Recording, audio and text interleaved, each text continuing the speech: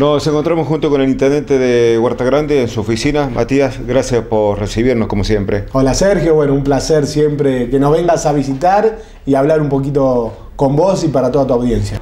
Veo instalación de cámaras de seguridad en edificios públicos, en algunos lugares de la vía pública también.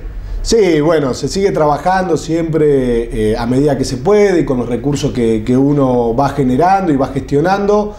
Como bien decís, hemos inaugurado hace muy poquito unas cámaras de seguridad, toda el área del centro cívico que tenemos eh, en nuestro pueblo, las plazas, las canchas, para que la gente se sienta segura y para que, por supuesto, no, tengamos hecho de vandalismo, que es lo que hoy, hace mucho eh, tiempo, está en todo este predio y nunca hemos recibido ningún hecho, así que eso nos pone contentos. Y hemos puesto también cámaras en el dispensario también eh, municipal que la semana pasada ya las habilitamos, así que ahí para que también tener un mayor control, porque ahora está abierto las 24 horas nuestro dispensario, así que nos va a servir para tanto para la noche como para todo durante todo el día, si llega a pasar algo, ¿no? Pero sinceramente se pone más que nada eh, para controlar y de seguridad, eh, tampoco hemos recibido ningún hecho dentro del dispensario. Intendente, esas cámaras en la vía pública están monitoreadas por la municipalidad, ¿cómo es? Están monitoreadas, por supuesto, por la municipalidad. Yo tengo aquí en, mi despacho también las cámaras y donde se están grabando también ah, eh, en, una, mm, en una DVR. Se graba durante 30 días más o menos todo lo que viene ocurriendo, así que si en algún momento llega a suceder algo, tanto la policía como la municipalidad puede revisar las cámaras y, ver eh, si ha ocurrido algo, ¿no? Pero la verdad que que estamos acostumbrados a que en muchos lados se están poniendo cámaras para la seguridad de los vecinos, así que estamos contentos de poder invertir eh, en, lo que se refiere a todo esto. Justamente una inversión municipal. Todo una inversión municipal.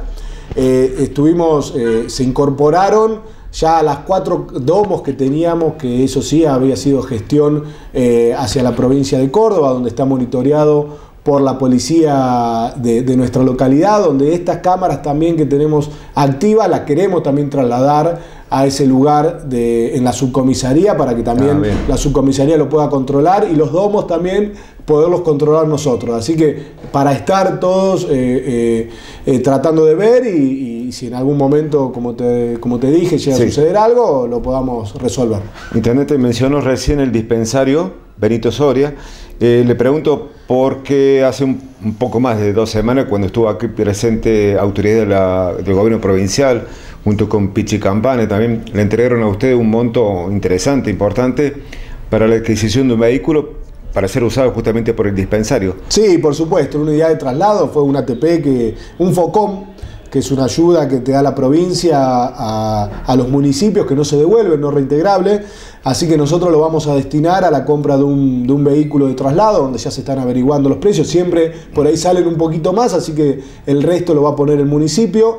Eh, ya vamos a contar con dos unidades de traslado para que la gente por ahí tenga que ir a hacerse un estudio a Córdoba o un traslado al Domingo Funes.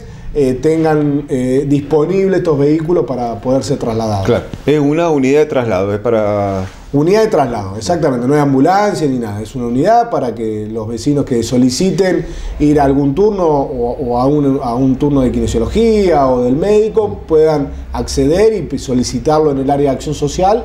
Ya eh, nosotros teníamos una combi que lo viene realizando, que hace poquito la volvieron a entregar porque se había fundido el motor, ahora le hicimos motor nuevo también, se ha gastado una inversión importante en el municipio y ya está en funcionamiento nuevamente, así que vamos a contar con dos unidades de traslado. Recuerdo, Intendente, aquel 15 de enero cuando fue ese tremendo eh, tormenta, donde rompió muchas casas cerca del bañario. Bueno, después le entregaron los fondos correspondientes. ¿Tenemos conocimientos que están empezando a construir alguna de esas? Sí, ya estamos por terminar, justo en el día de hoy, justo, mirá, eh, eh, lo fui a, ver, a recorrer la obra. ya está una casi terminada, una casita, porque la preferimos hacer de, de material. Por ahí los ingresos que hemos tenido de la provincia fue, fue para comprar el material, pero la mano de obra eh, la gente no la podía pagar, o sea que la municipalidad se la está haciendo. Ya hemos terminado una, las otras dos están a la altura ya de techo para colocar el techo. Ya los materiales, cuando apenas nos dio la provincia el dinero, los compramos.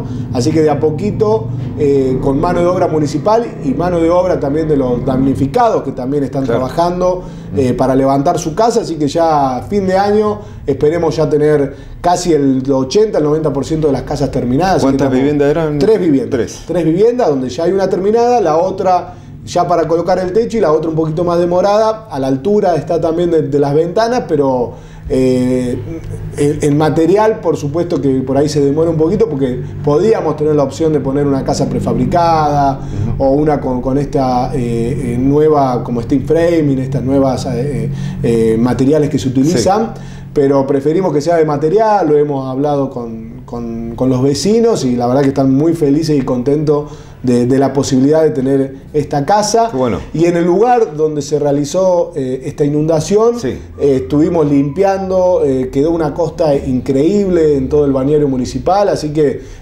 para el verano va a estar increíble. Es como una puesta en valor del balneario que siempre estuvo lindo, pero ahora se mejoró. Así, se extendió más, se extendió por esa zona donde estaban esas casitas que estaban pegaditas al balneario, donde ya no están más. Hemos limpiado todo y ahora quedó una costanera muy linda para ir a pasar el día y el verano. Hace poquito días se hizo una maratón en parte de ese balneario, fue lindo evento deportivo.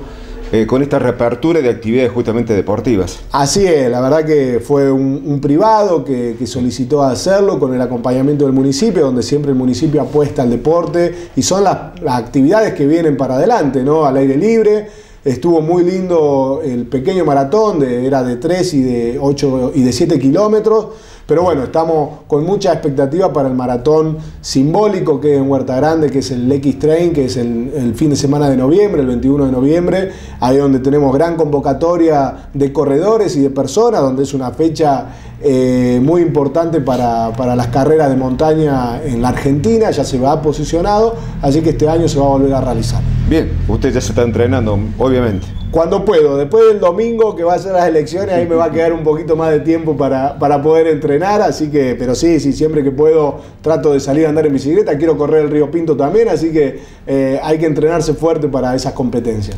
Intendente, bueno, me dio pie para preguntarle sobre las elecciones, las pasos, que ya estamos, ya con esto, ¿cómo fue este tiempo previo para usted políticamente, acompañando al gobierno provincial? La verdad que, bueno, orgulloso primero del lugar que me, tocó, que me toca cumplir como presidente del Comando Electoral Departamental, que tanto el gobernador como todos sus ministros y el presidente del partido haya visto en mí una persona que, puede llevar eh, esta campaña adelante. Y después, bueno, agradecerle a todos los, compañeros, amigos, militantes y, vecinos independientes que hoy están apoyando al gobernador. Eh, por ahí al principio uno pensaba que iba a poder hacer un poquito difícil todo este movimiento, porque sabemos bien la ruptura que hubo mm. de, tanto en el departamento, pero sinceramente eh, todo cambió cuando empezamos a caminar, cuando empezamos a recorrer.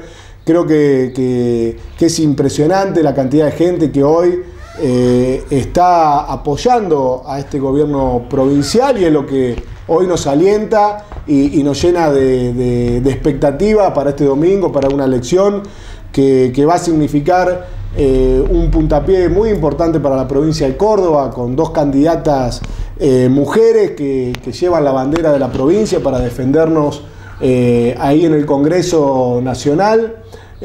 Por todas las leyes que, salgan y que, y que por ahí pueden llegar a perjudicar a Córdoba y ellas van a estar ahí plantando bandera y defender eh, todo lo que se refiere y que pueda llegar a, molestar o a, perjudicar a la provincia. ¿no?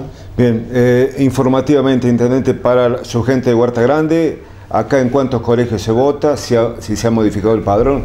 Cuéntenos por favor de acá, lo que se pueda. Acá cada vez eh, somos más gente en el padrón, Huerta Grande está creciendo, así que eso nos pone muy contentos. Se ha habilitado un, un centro más de educativo, eh, que va a ser el profesorado de educación física para hacer esta separación de, cantidad de mesas en cada mm. institución. Esto ha ocurrido en todo el departamento.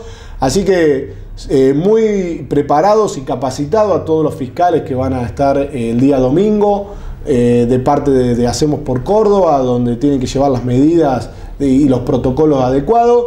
Así que creo que, va a ser una elección eh, muy importante para, el departamento y para la provincia y con muy buenas expectativas. Así que eh, no queremos adelantar nada, pero me imagino que, vamos a estar disfrutando mucho a, fines del domingo, ya cuando sea tardecito y se cuenten las urnas, porque vamos a hacer, no tengo duda, una excelente elección. Esa va a ser la pregunta, Intendente, para finalizar. ¿Cómo va a ser para el peronismo? después del domingo, próximo para el noviembre. Ahí, que, ahí va a quedar demostrado que el peronismo del departamento y todas las alianzas que tiene dentro del peronismo, porque hoy hablamos de peronismo y hacemos por Córdoba abarca 19 partidos, ¿no? Eh, tenemos un ejemplo claro que es el socialismo, que, está representado por un candidato a diputado e intendente de Cosquín, eh, donde la política tenemos que empezar a aprender que se va modificando y si no nos ponemos nosotros al día con eso, nos vamos a, estancar y a quedar solos. Eh, por eso es importante esta estructura que hizo Hacemos por Córdoba y es lo que hoy me toca llevar adelante y feliz de, la cantidad de gente que, hoy está convencida de que este es el espacio que puede llegar a, construir y el espacio a futuro que se viene. Así que en la elección va a quedar marcado, van a ser pocas por ahí las palabras que hoy te pueda decir y el lunes si querés hablamos después de la elección y ahí va a quedar plasmado todo el trabajo que se ha realizado, tanto en el departamento como en la provincia de Córdoba, que no tengo duda que, que nuestro gobernador tiene un mensaje bien claro de, que, de hablar poco y hacer mucho y eso es lo que hoy tenemos que demostrar. Eh, esto de que vendan a vender espejitos de colores, que vendan a vender plata, casas, que vengan a bajar ahora con recursos, ¿no? Y cuando, cuando en ningún momento han bajado antes, eh, la verdad que ya la gente no, no cree más en esas cosas, cree en los hechos, cree en lo que ve, cree en lo que puede palpar, y nosotros tenemos un gobernador que se cansa de hacer obras, imagínense si tenemos representantes que defiendan a Córdoba, la, la, cantidad de obras más que se pueden llegar a realizar. Así que no tenemos duda que va a ser una, muy buena elección. Este jueves es como un cierre de campaña elegido en Cosquín como cierre de campaña de Punilla. Va a haber un cierre de campaña con una de las candidatas, Alejandra Vigo, candidata senadora, va a ser en Cosquín a las 10 y media. Y después va a estar el cierre provincial, que va a ser en Altagracia, a las 4 y media, que ahí vamos a tener a nuestro gobernador, y a, y a, todos los candidatos en ese cierre tan importante que va a ser de campaña en Altagracia. Gracias, Intendente. No, de nada.